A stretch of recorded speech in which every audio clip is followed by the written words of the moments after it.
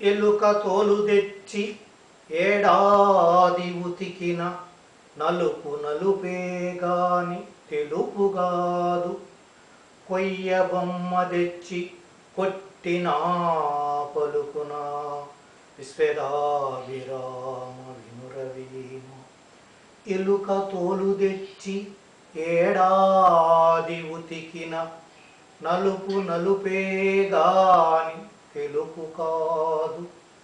కొయ్య బొమ్మను తెచ్చి కొట్టినా పలుకునా. విశ్వరాభిరామ వినురవేమ. ఎలుకను తీసుకొని వచ్చి ఏడాది ఉతికిన. అది నల్లగానే ఉంటుంది కానీ తెల్లగా మారదు. ఎందుకని? ఆలోచించండి. అదేవిధంగా కొయ్య బొమ్మను తీసుకొని వచ్చి బాగా కొట్టావనుకో కొట్టినంత మాత్రాన పలికిగా ఎందుకని? ఆలోచించండి. మళ్ళీ ఒకసారి. ఎలుక తోలు తెచ్చి ఏడాది ఉతికిన నలుపు నలుపేదాని తెలుపు కాదు కొయ్య బొమ్మను తెచ్చి కొట్టినా పలుకునా విశ్వదాభిరామ ఎలుకను తీసుకొని వచ్చి సంవత్సరం పాటు అంటే ఎన్ని రోజులైనా దాన్ని మనం ఉతకచ్చు. కానీ అది నల్లగానే ఉంటుంది. అట్లానే కొయ్య బొమ్మను తీసుకొని కొయ్య అంటే చెక్క చెక్కతో తీసుకొని బొమ్మను చేసి మాట్లాడు మాట్లాడు అని కొడితే పలుకుతుందా? ఎందుకని? వాటి స్వభావం ఏంటి? మాట్లాడే గుణం ఉందా? మాట్లాడగలుగుతాయా? మాట్లాడలేదు.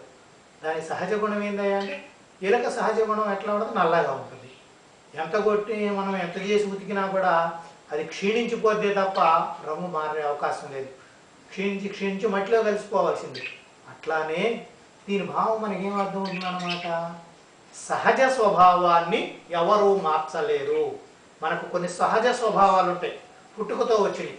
ఆ సహజంగా వచ్చినటువంటివి ఎవరూ కూడా మార్చలేరు అనే భావాన్ని తెలియజేయటానికి వేమన కవి మనకి ఈ పద్యం చెప్పాడు ఎలుక తోలు తెచ్చి ఏడాది ఉతికిన నలుపు నలుపేగాని తెలుపు కాదు. కొయ్య బొమ్మను తెచ్చి కొట్టినా పలుకునా విశ్వేదాభిరామ వినురవేమ కాబట్టి సహజ స్వభావాన్ని మనం మార్చలేము.